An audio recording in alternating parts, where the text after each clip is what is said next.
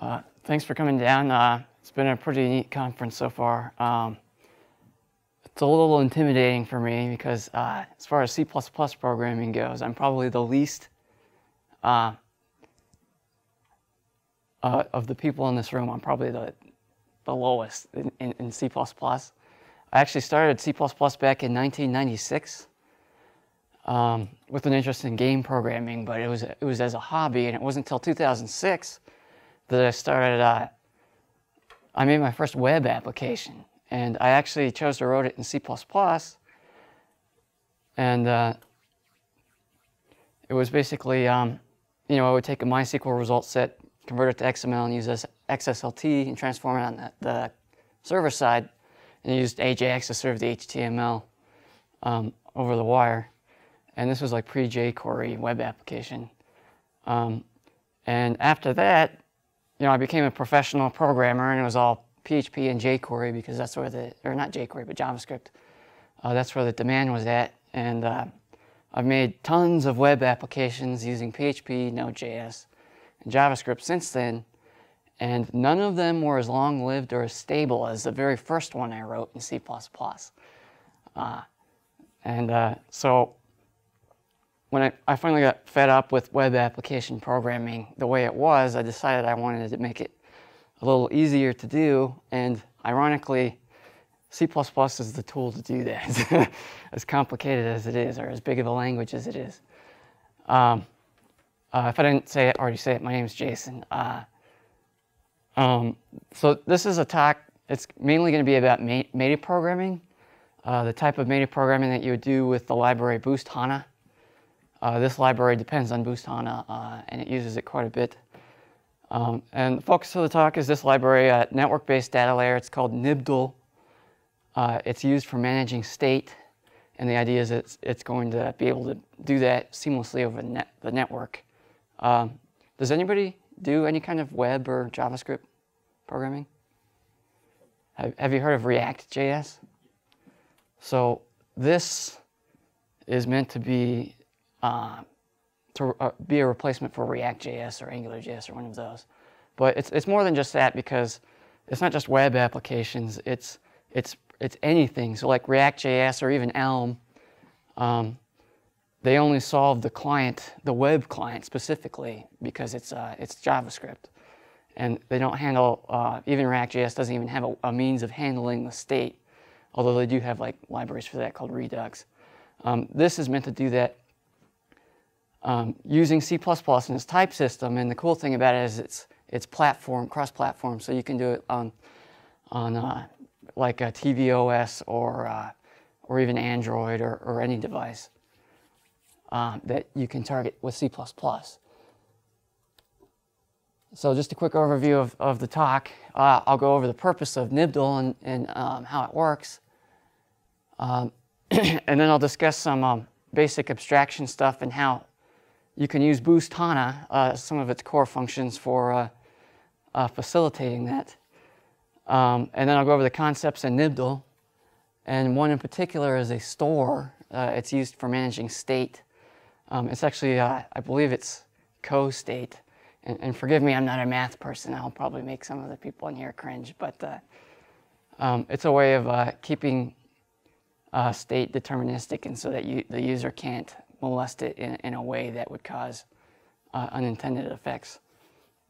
And then uh, there's some uh, tools in Nbdl for, for promises, but promises are used typically for programming with values that are in an asynchronous context, but they can also be used for meta programming with values in a, in a runtime context. Um, and then after that, I'll show uh, you an empty interface that I believe that can be used by programmers who don't want to have to worry about things like object ownership or the potential for undefined behavior. Uh, but they can, they can use that interface in C++ without having to worry about that kind of stuff. And then if there's time at the end, I'd like to show you some Docker stuff. Um, but uh, I don't have many slides on that. All right. So can you guys tell what this is doing? Is it is it readable or is it intuitive? Or can anybody tell me what, what, the, what they think it's doing?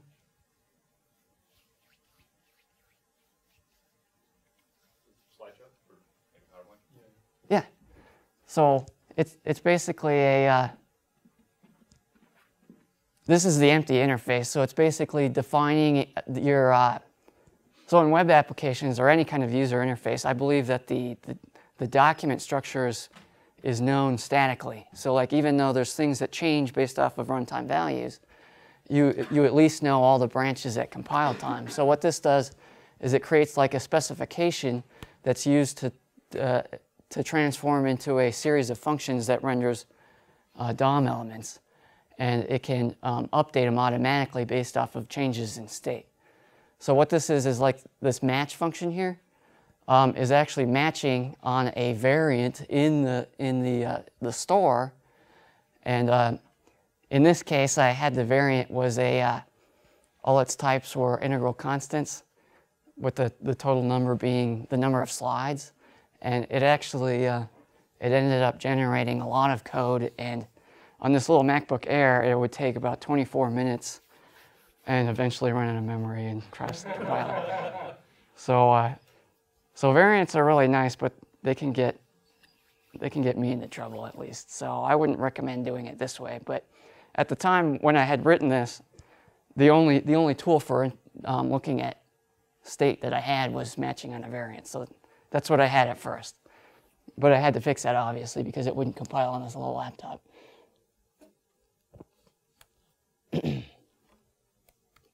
All right, so Nbdl.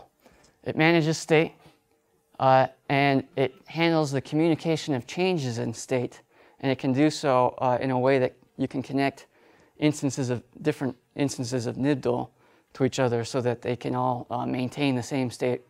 So like you can see two client devices would see the same thing. And it's, it's basically the idea like in React.js you have different uh, user interfaces that would reflect changes in state, but this, this works across devices and it should handle it seamlessly. Um, and also I provide like implementations for common use cases like uh, WebSockets or rendering HTML. Um, I have a, a, pretty good start on UIKit um, for uh, like iPhone and, and I plan on uh, supporting Android as well. And maybe eventually uh, even IMGUI I believe would be pretty easy to integrate.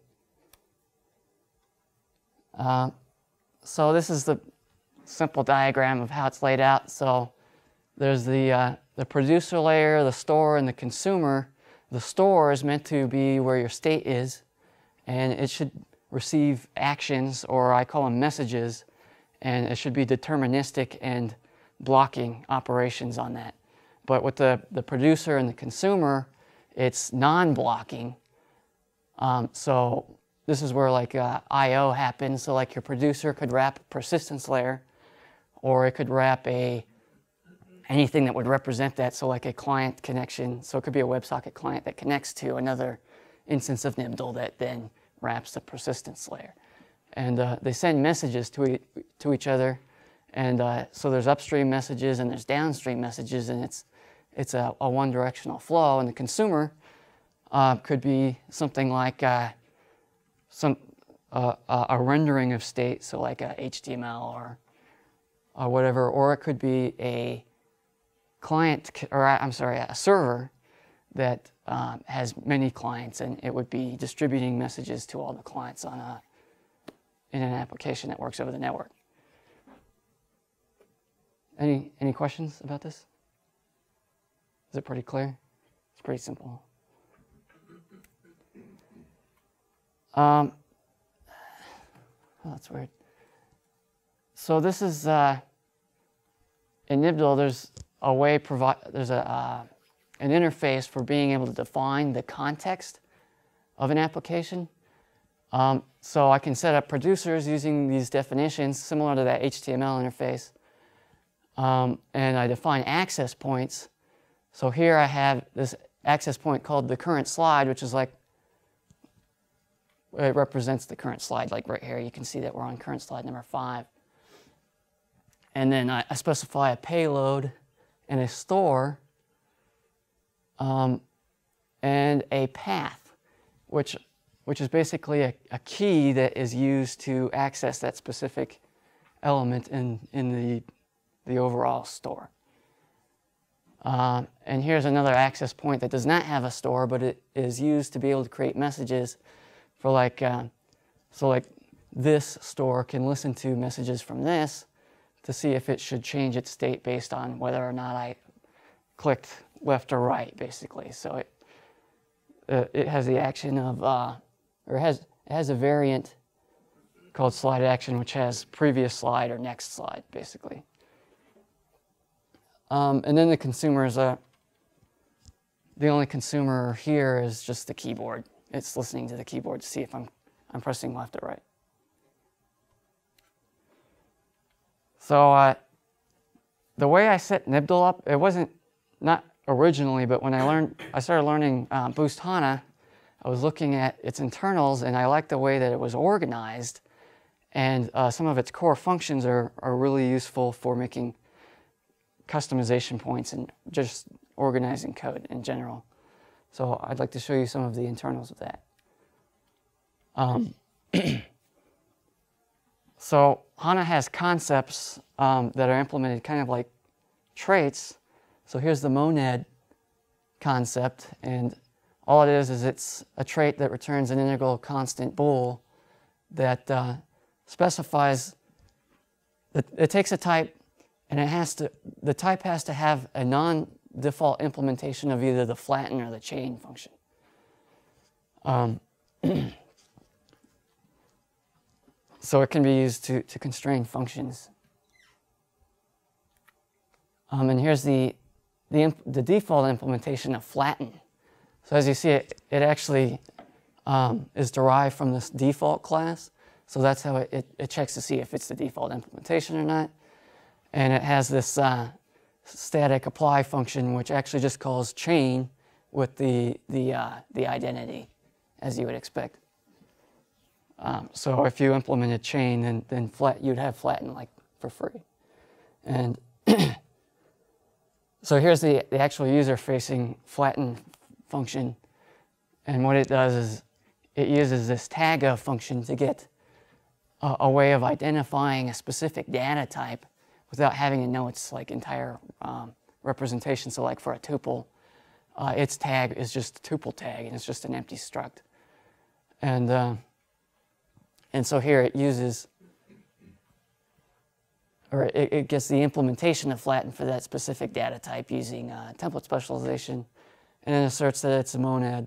And then, it, you know, here it just calls it. Is that pretty simple? Easy to understand.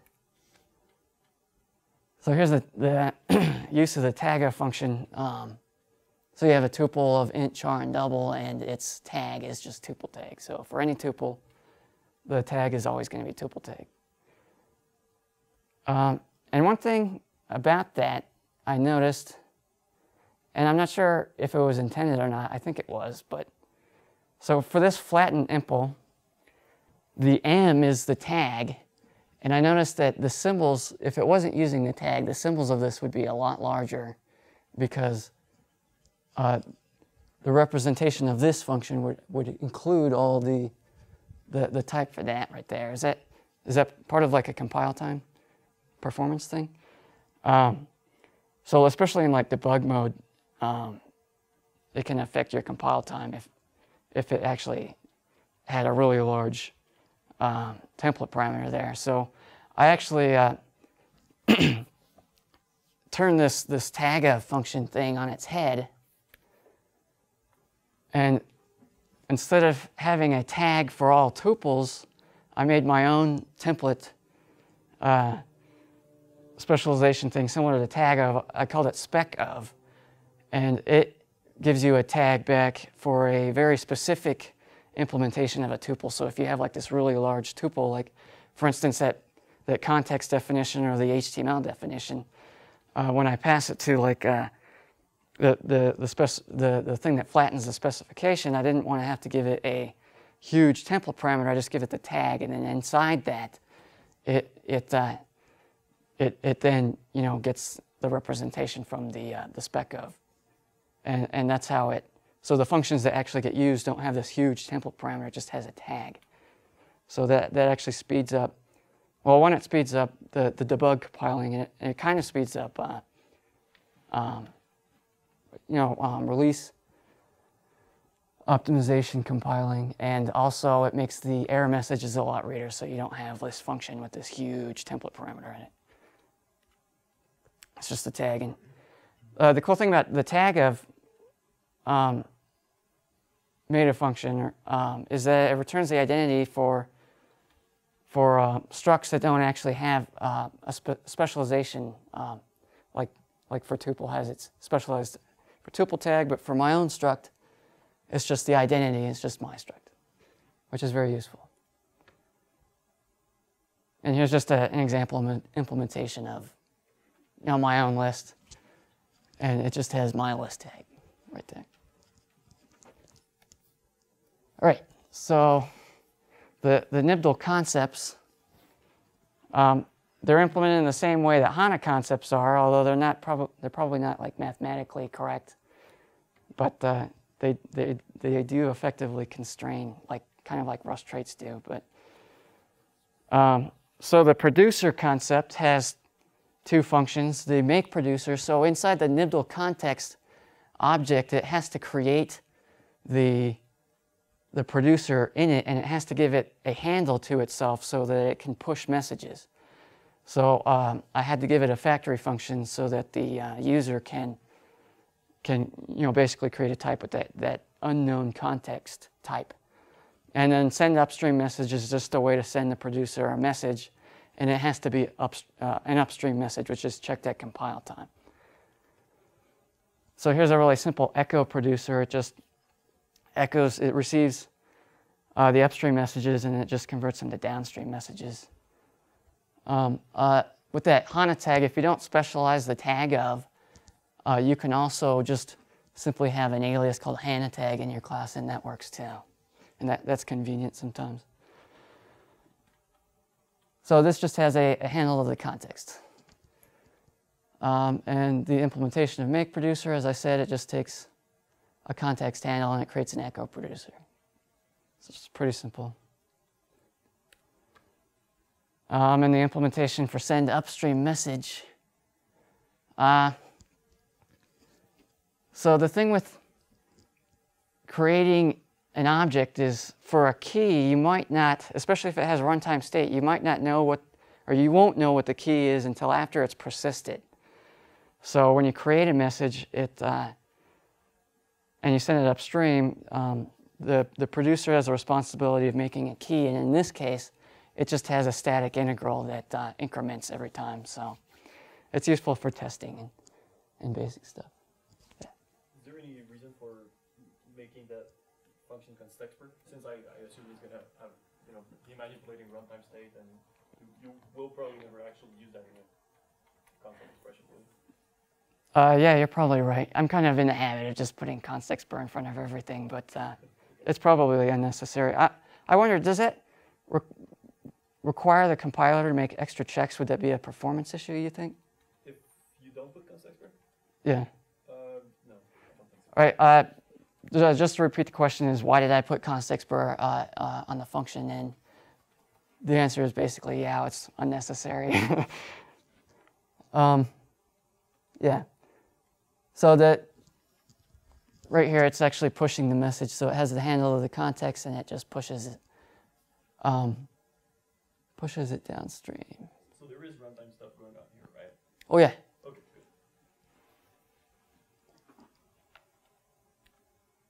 All right, consumer, same thing. It has a make consumer and a send downstream message instead. And it also has a notify state change um, for consumers that only want to know like when a certain value at a certain path changes. Or it, could just uh, ignore the path and just do something on any change. Um, so pushing messages. Oh yeah, and another thing about make consumer is that the handle to the context that it has is also uh, it implements the store concept so that it, it, can actually look into the store and, and do stuff with the values like render. Um, so pushing messages, this is like the keyboard consumer. So when somebody pushes the right arrow button, um, what it does here is that the path, because it, it can't have runtime state because we wouldn't know what the key is, it's actually just lifted it as the type. And then I have this facility for creating an upstream message. Uh, so that, so the thing with the context is that it, it actually creates a variant for messages. So, and, it- and it can be difficult to, to create the correct type, so it actually has factory functions for that here. Does that make sense? So the path is like the action that you're gonna do, right? The path? Yeah. No, the, the well, it, it kind of describes the location of the object in the store. Ah. So kind of like a, a, a way of creating a lens, sort of. And then the action is, um, in this case, is upstream create. So it's a make upstream create message. So that information's in the in the message object. So like the payload, for example, can you give an example of what a payload is, for example? What, what A payload. Uh, in this case, it's a, a uh, slide action next. So slide action next is an object that is, it's actually just an empty tag, but it's a member of a variant. Um, and that, that variant in the store has two possible states, slide action next and slide action pre, previous. So you can send it one of those and it'll just uh, send that as the payload. Um, so this is kind of hairy. It's the notify state change for that same keyboard thing, but all it does is it just console logs the, the state, and this is when I had it as a variant. And, and Nbdl variants, empty type is called unresolved because it's meant to uh, represent values in the state in the store that might not be loaded over the network yet. So it has to have some kind of state, and so in that case it would be unresolved. And then any other case, it was a integral constant, and I was just console logging that there. Does that make sense? Any questions about that? so you end up generating, if you have, if you have like, uh, ten slides, for example, you end up generating ten of these, ten of these, uh, you instantiate ten of these operator params for the, for the, okay, so we have like a variant with ten different things in it? In fact, it was 56. Well, yeah, but let's say, let's say, okay, fifty-six, so, so you end up generating a variant with fifty-six things, and then you instantiate, well, you, you do a visit basically with this lambda here over everything in the variant, and the variant contains, uh, integral constant that represent the, the, the, the, the number of the slide, is that, So the question is, is am I, am I visiting every possible member of the variant in this notification call, right? Yes, the visitation happens here in the match function. Um, so yes, so it, it generates a console log for every variant. So yeah, I, I do currently have a, a code bloat problem with that, and that's why I'm not using the variant anymore, mainly because of the compile time. But I, yeah, I definitely see a case, especially in the rendering part, for some kind of type erasure thing. So yeah, I definitely thought about that. All right, uh, so this is the entity concept. I could probably throw this away and use HANA struct. That's all it really is. Um, I've never like compared them like the a benchmark or anything. I might say that entity is a little lighter weight than HANA struct. Um, and uh, if I was to implement this as a foldable, which I don't think I do, I think I would just unpack the, the members of the struct instead of pairs. Struct unpacks his pairs. yeah, that, Yeah. so, so it has the macro nbdl entity, which is very much like HANA adapt struct, or boost HANA adapt struct. So here's how it would look. So there's a struct person t and a struct user t, and uh, I should probably hurry up a little bit. So it's it's just like HANA adapt struct, um, and you give it the you know the, the struct and then the members and the sequence matters. Um, and I, I think the sequence is guaranteed in HANA struct as well, right? I, I read that in the documentation that, Oh. well, it's not a HANA sequence, but it is sequential though, right? Oh, yeah, yeah, yeah. Okay, so yeah, the HANA accessors function says that it's, you know, a sequence of, or, you know, a, a sequential list of accessors. So I, I, think I might actually end up using that. Uh, but that's what I wanted. Um, so this is uh, the concepts bindable sequence and bindable map, uh, which have the functions bind sequence and bind map. The names might not be that, that great. It, it, I could also probably call it visitable sequence and visitable map. Um, and the reason I'm not just using uh, HANA iterable in the case of the sequence is that um, I wanted to support pair and optional, which aren't necessarily iterable. So um, it's basically just like a, a, sequence of visitable objects, and map has um, an interesting constraint in that the keys have to be HANA strings. Um, so this is actually useful for um, serialization, but also what I want to do, uh, eventually at least, is make a way of adapting a data structure to a newer version of that data structure or even a subset. So like let's say there's a, um, a piece of information that has some sensitive information like social security number that we don't want a certain type of client to see.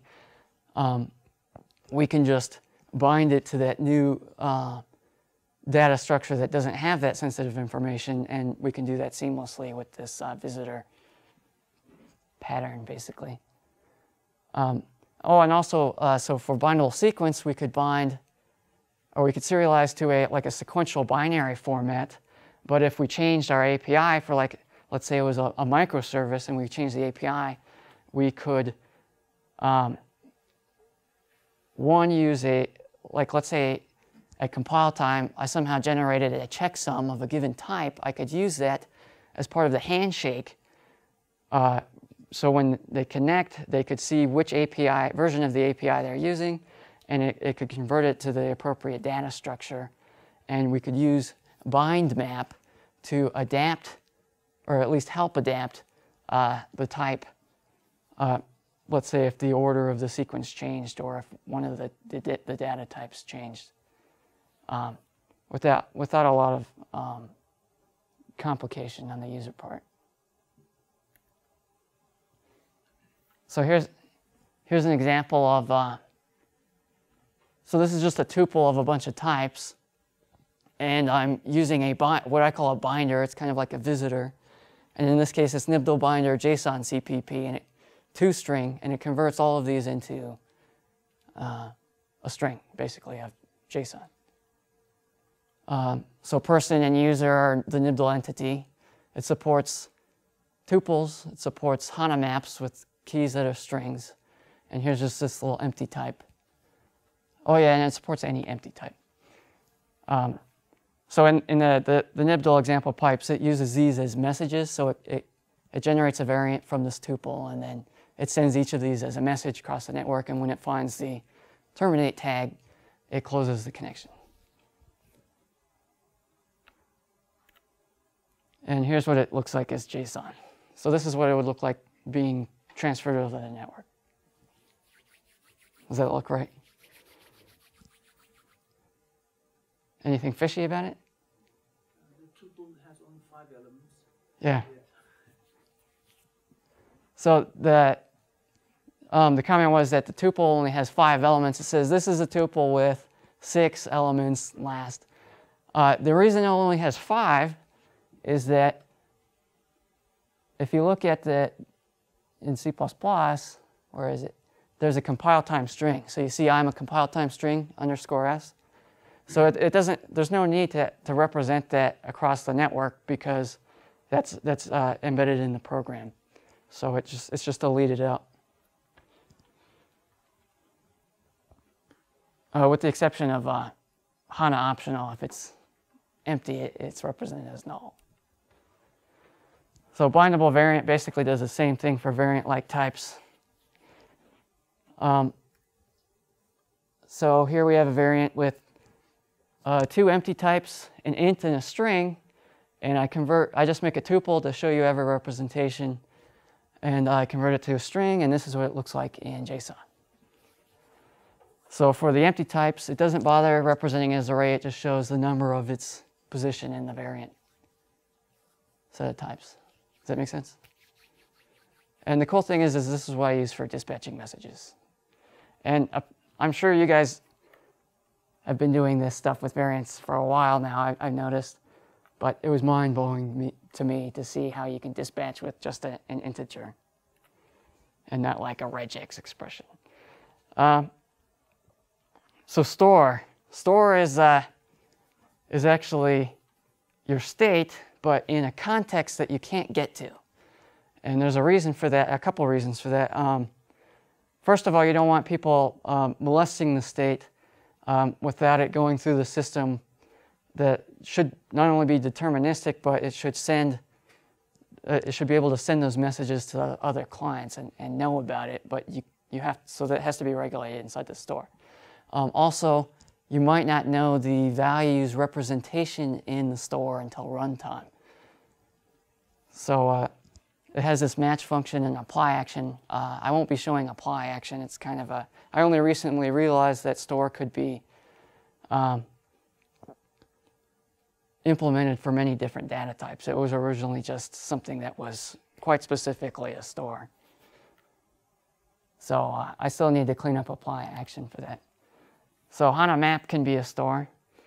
Um, and, and it's pretty simple. So uh, a, the way to you can access a value in a store is by giving it a key. So it's kind of like HANA searchable in that instead of calling at key and it returning a value, you actually visit it kind of like a variant. Um, so the match function takes a store, then the key, and then it has a function that it uses for, for visiting it. So does that make sense? All right. What happens if the key is not in the store? If the key is what? is not in the store. Uh, so if the key is not in a store, it is a compile time error.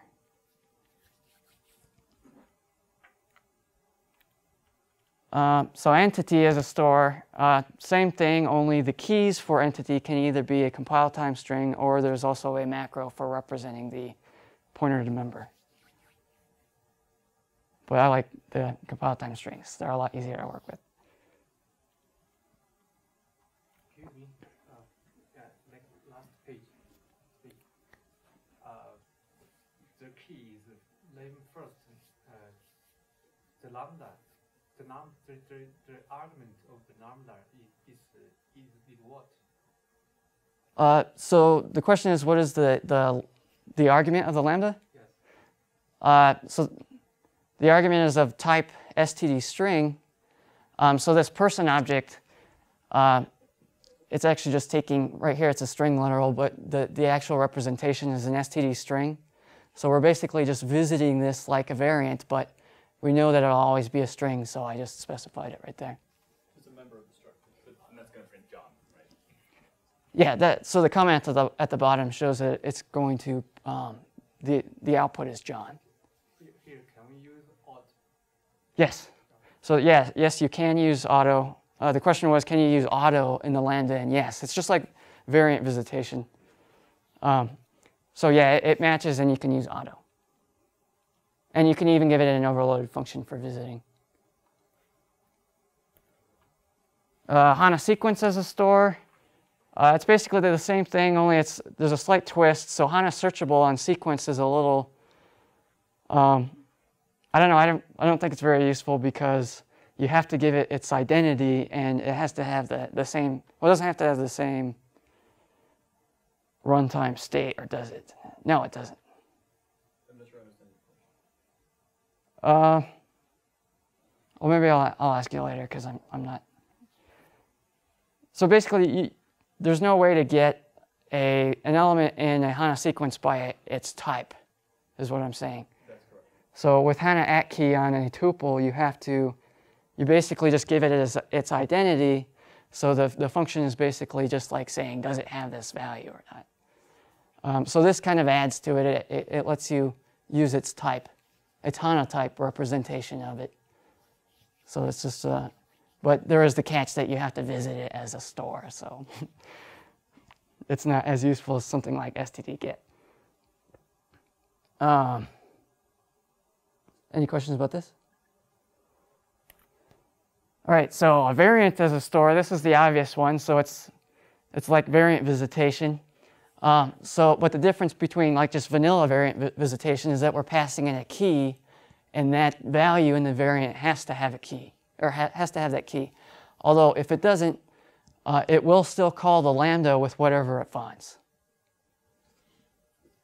So, if it was an ob- optional, in this case, nbdl optional has the empty type of nib- nbdl nothing, and uh, that's what would be called in, in the lambda. But in this case, it's John.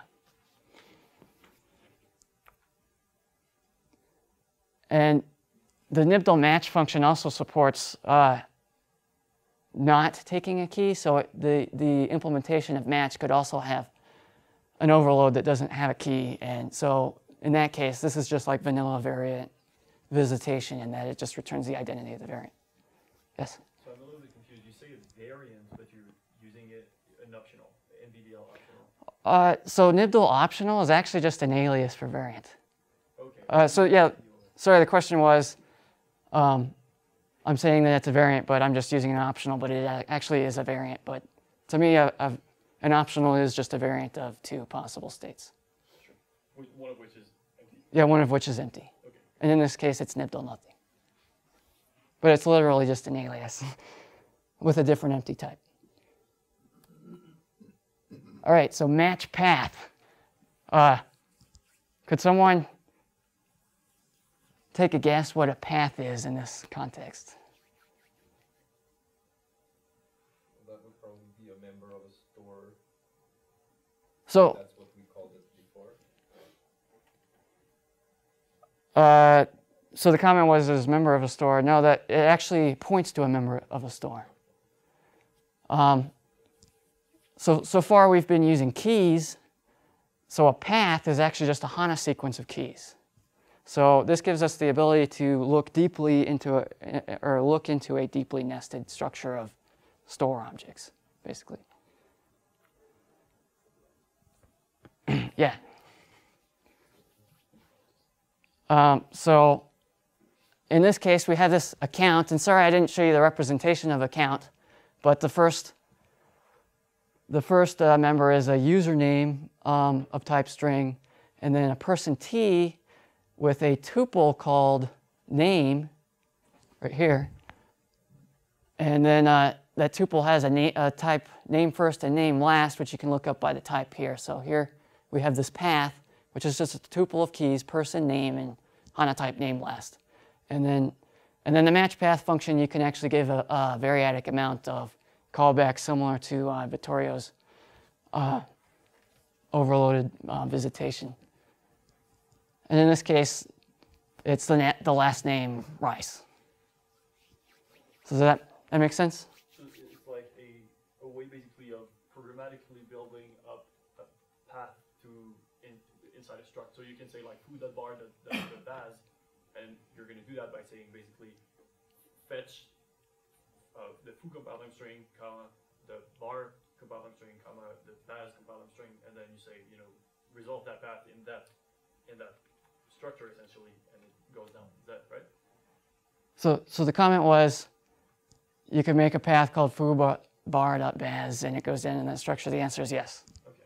That's pretty neat. It is neat. It's basically building up a bunch of nested match at compile time. Yes. So is it building up a bunch of nested match? And yes, it, match path is, there's no way to actually uh, implement a customization for this. It just uses match recursively. And the cool thing is, is when it gets to the end of the path, it can use that identity. So if you wanted to get a, a um, the value inside of a variant that's at the end of the path, it just gives you the value that's inside the variant. And maybe I should get that in the next slide. So I got five minutes. I I really need to start hurrying up. I was figuring I was gonna So one of the be done really if early. it fails in the middle of the path, it propagates the, the nothingness all the way down, right? Yes. So the the, the question is, is if it, I'm s- s- If it fails, like if it does nothing, but in the middle of the path, then it is propagated all the way down. It's like monadic error handling. You're gonna get a compiler error, no? So is it like monadic error handling? I'm confused by the, the auto ref ref nothing. So I guess that's like a So th- th- this could actually just be nbdl nothing. I didn't have to use auto, but I did. Um, but yes, if one of those were nothing and there were still elements to match on the path, there would be a compile time error. And that's, a, that's actually a problem that uh, I'll show you how I get around that in a few minutes. All right. Promises. This is how we get around it. So as I said before, promises are useful for programming in with values in an asynchronous context or meta programming with values in a runtime context. So like uh, if you wanted to extract a value out of a, an asynchronous context, you would, you would block and you would wait for it, right? Well, how would you do that with runtime? you can't, unless you wanted to wait till runtime to, uh, to figure it out, but you can't do that. All right, so I kind of went for full-blown nerd factor and I made a common interface for asynchronous promises and synchronous promises, but it gets kind of ugly because of that, but uh, there are some, some payoffs at least. So run sync, this is runtime promises here. So here's a path promise. So if you had, if you had that, that nothing in a deep path where you're expecting something, it would be a compile time error, but we can use a, pro, a promise so we can look partway into that and then require that at a certain point in that path, it's a specific type. So as you see with require type. And, uh, and then, oh, man. So I actually changed some, hold on a sec, 40.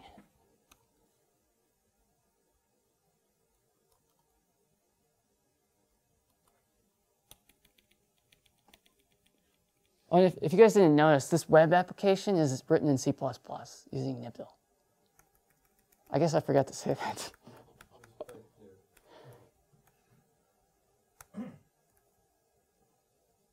Um,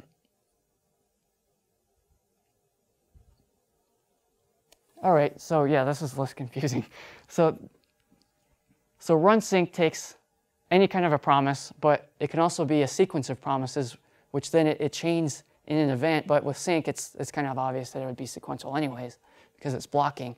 But so here, yeah, we have a, um, we require that the, the type at this be name last t, and then I can also just give it vanilla functions, and that implicitly do, just does a transform on the value at that point in the, uh, in the chain. And then I also have a tap function for side effects. And then this catch function is interesting in that if this require type um, rejected wasn't of name, if it wasn't the, if the type wasn't a name last, it would reject the value and it would skip everything until it found a catch. And then it does something like error handling. And as you can see, it, it, it prints out McGee with uh, it as uppercase. So does that make sense? We got like one minute left. All right, so this is what it would be if it was rejected. It would print something else. And this is the implementation of that require type. It's just nbdl promise that takes a function that has a resolver. And uh, as you saw in that other promise implementation, it had like a fulfill and, and reject. This is just one parameter, and I found that that has a tendency to generate a little less code, but it has the member functions resolve and reject. And uh, if it's not of the type you're expecting, it rejects it. Does that make sense? All right, so here's an, uh, so HANA index if. Uh, if you're on the cutting edge development branch of HANA, there's an index if- function. And like all of the HANA functions that take a predicate, they're required to, the predicates are required to return a um, integral constant convertible to bool. Uh, so the, that's a problem sometimes when you want your predicate to return a runtime bool. And in this case, so like you can't just use HANA for each and, and uh, find a value that matches a, a, a runtime predicate because it's going to visit every single value in the sequence. So this, this, does, this solves that uh, with an eager implementation using this promise interface. And what it does is it transforms this list of, uh, so this is like a, an empty list of predicates. It converts it into a tuple uh, and it default constructs them and converts them into this predicate promise wrapper. Uh, and uh, if it gets to this point, so also, okay, so this is a tuple and it'll run each of those predicates sequentially. And if um, it resolves them all, it'll actually fail. So I kind of flipped the reject and resolve here. It's uh, inverted. So if it's actually resolved, it'll reach the static assert and fail. So, and it's just using dependent like size of args over 9, 9,000. So it should never get to that point. Um, so you have to have a predicate that returns a compile time logical true, uh, and that would be your otherwise case or your default case. Um, so if it, it does find a predicate that returns true, it'll, it'll catch it and then it resolves it. So this is actually nested inside another promise.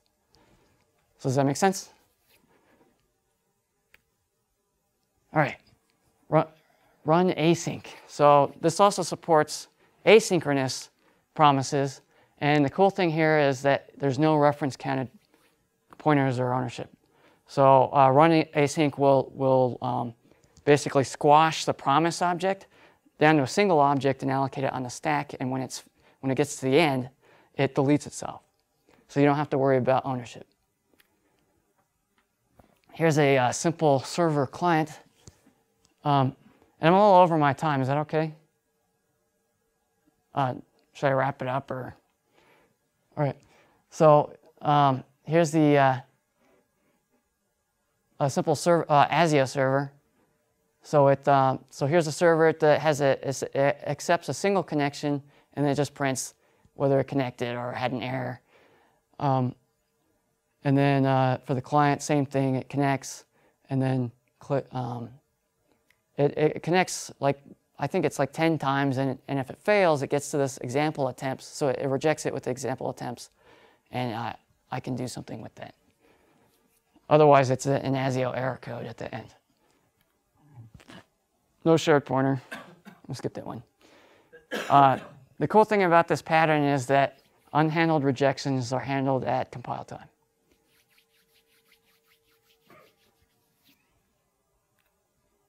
So the empty UI, uh, I kind of showed you this at the beginning. So here's a, I believe there's a, a we can provide interfaces in C++ to users who don't want to worry about object ownership or undefined behavior, um, people like JavaScript programmers, and, and this is the way to get there using this empty object or tag or whatever we call it. Uh, does anybody get the dingbat reference? Um, so here's an example of the bulleted slide. It's basically, uh, it just takes, the cool thing about it is you don't have to worry about references. Uh, you don't have to worry about, um, you know, like perfect forwarding or whatever. You can just copy it by, by uh, value because it's empty. Uh, and so here we just have a header, and then it renders a, an arbitrary amount of bullets inside an unordered list. Um, it also allows you to match values in stores. I showed you guys this earlier. Oh yeah, but this isn't a variant. So like I have an optional string here, and it can print out, uh, so here we have our store, and in this case it would print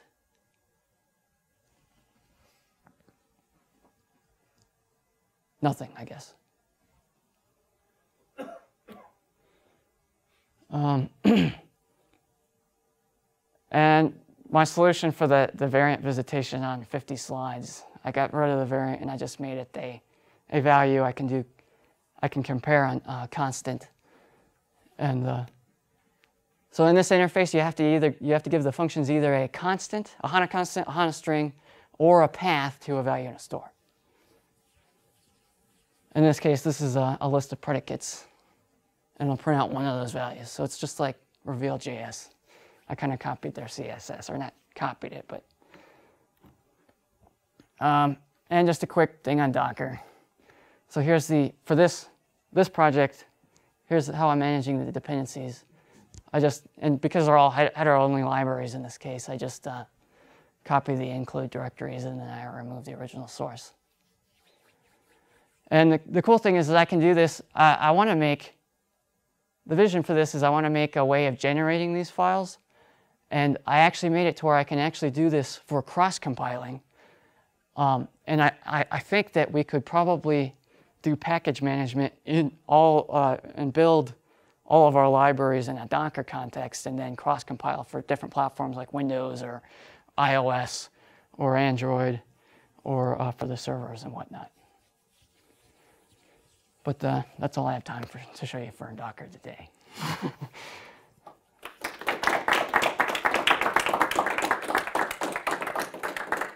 Special thanks to Louis for making Boost.Hana. I